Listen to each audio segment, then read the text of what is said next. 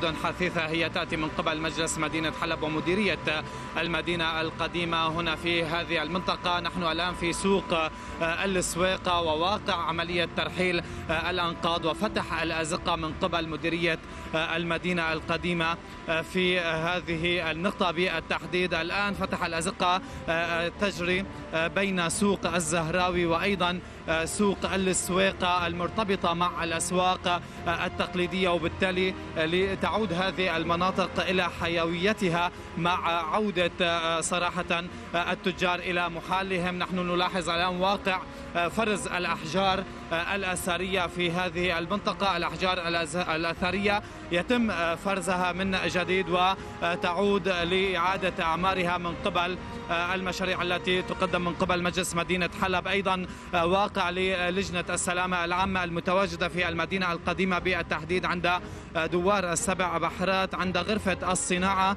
لهدم الأضرار الجزء لهدم الأجزاء المتضررة من غرفة الصناعة وبالتالي ما أن ينفذ هذا المشروع من قبل لجنة السلامة العامة لإعادة أعمار غرفة الصناعة وبالتالي يعود الحركة ويعود الحيوية إلى نقطة المدينة القديمة. إذا واقع يأتي من قبل مديرية المدينة القديمة لإزالة الأنقاض وفتح الأزقة هنا في أحياء المدينة القديمة في عدد من الأحياء وبالتالي لعودة المدنيين إلى منازلهم وأيضا لعودة التجار لفتح محلهم التجارية في هذه المنطقة. حتى اليوم هنالك ترحيل إلى نحو 100 ألف متر مكعب من الأنقاض تأتي من قبل مجلس مدينة حلب ومديرية المدينة القديمة وما زالت الأعمال جارية لترحيل ما تبقى من أنقاض من هذه المنطقة. وفتح الأزقة وبالتالي عودة الحياة وعودة الأعمار إلى هذه المدينة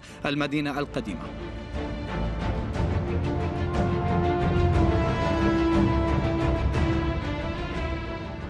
نحن هون شوي الدمار بسيط يعني بس بالديكور. ما في الحمد لله كأبنية. هذا الشارع جامع الأموي معروف عالميا. حاليا خطتنا هي ترحيل أنقاض من محور الزهراوي والسويقة. منطقة السويقة هن أهم محاور تجارية ضمن المدينة القديمة. وزعنا جبهات العمل لأربع جبهات بالمحاور خلينا نقول الأزقة المكتظة سكانيا. وفي جبهتين كانوا متنقلات لمعالجة الشكاوي بالمحاور الرئيسية الدوارات المناطق المحاور الأهم سياحيا خلينا نقول أو المحاور السياحية ضمن المدينة القديمة